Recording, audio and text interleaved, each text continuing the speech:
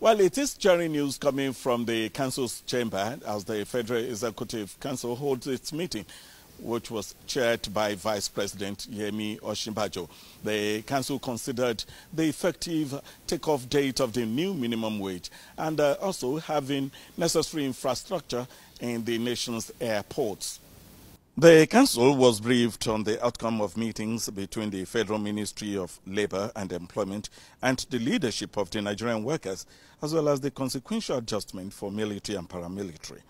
Minister Chris Ngige speaks on this while briefing the press. Also approved for us that the financial implications worked out and uh, the attendant payments should be completed on or before 31st December 2019.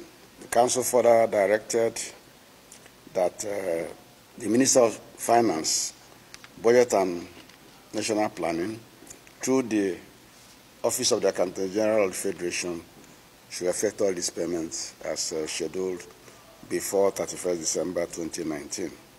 Council further directed also that uh, National Salaries, Incomes and Wages Commission and the Ministry of Labour and Employment should send the consequential amendment, adjustment table, wage table, down to the states and local government as an advisory document for their information and guidance as they negotiate with their joint uh, National Public Service Councils in their respective states.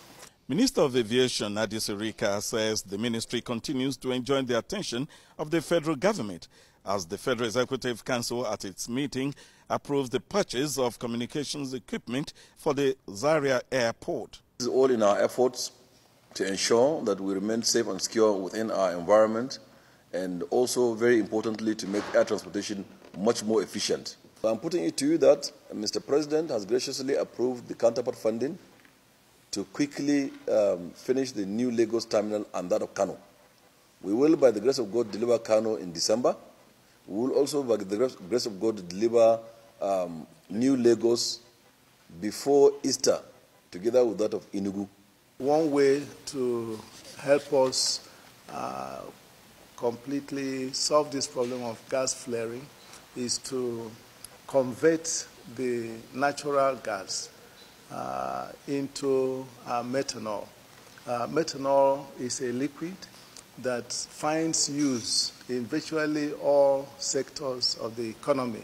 And the Federal Ministry of Communications is now to be known and addressed as Federal Ministry of Communications and Digital Economy. Minister of the Ministry, Issa Pantami, explains the reason for this. Came up with the proposal knowing that uh, digital economy today is about to dominate the world. And even in Nigeria, if you look at it critically, the contribution of uh, ICT to our GDP, gross domestic product, is increasing by the day. Some of the Federal Executive Council members are away with President Muhammadu Buhari in Sochi, Russia, attending a three-day Russia-African summit, while some are also defending their budget at the National Assembly. This explains the reason for their absence at the meeting in the State House. Jide Onifade, NT News.